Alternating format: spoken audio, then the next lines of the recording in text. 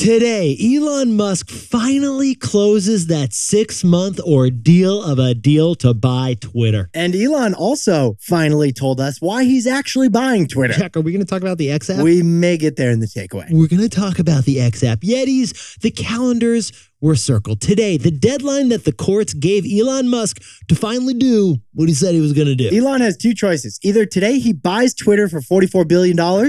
Or Elon has to show up in court on Monday in a suit with a briefcase. and go through an epic trial against Twitter, which Twitter would rather die than lose. Now, there's one thing Jack and I know about Elon Musk.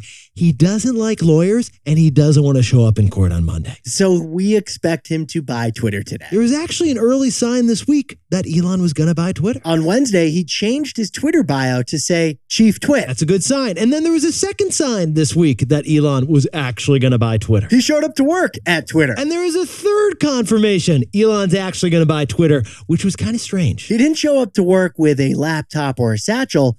He brought the kitchen sink. Elon literally showed up at Twitter headquarters and he brought a physical part of the kitchen, the sink. Let that sink in. It's like Elon went to Home Depot and then he went right to Twitter.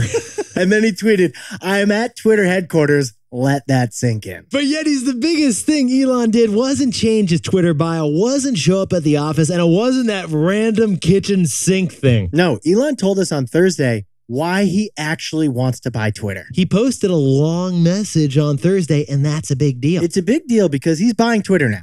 And everything he has said in the last six months, we had to take it with a huge grain of salt. yeah, because Elon was like trying to wiggle out of the deal. He had buyer's remorse. Anything he might have said in the past six months might have been just to get out of the deal. So, with that message and him firing the CEO and buying the company today, we actually believe these to be his intentions. Here's what Elon said about why he's buying Twitter. He believes that we need a common digital town square. The far right and the far left, they live in echo chambers. There's no central space where people actually interact online. That's what Elon said. So he said he's trying to make Twitter the common space where we can all engage in dialogue. And then he clarified Twitter will not become a free for all hellscape where anything can be said with no consequence. He clarified it must be warm and welcoming to all. So there's going to be some rules. And now that he's finally said why he's actually doing this, it's a worthwhile cause. That sounds like a worthwhile cause, Nick. We hope he succeeds, whether or not he got a good deal on that sink. So, Jack, what's the takeaway for our buddy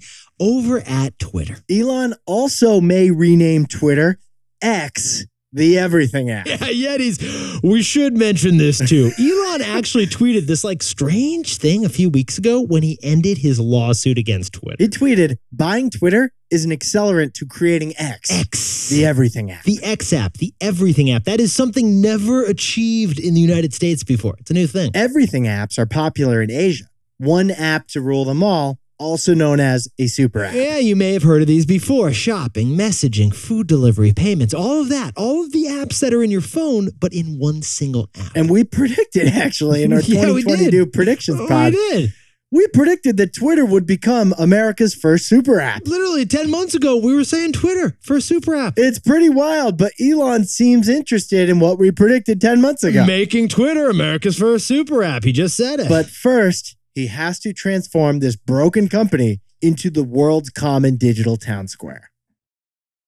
thanks for jumping in T Boy style. And don't forget to like and subscribe for more pop biz that you need.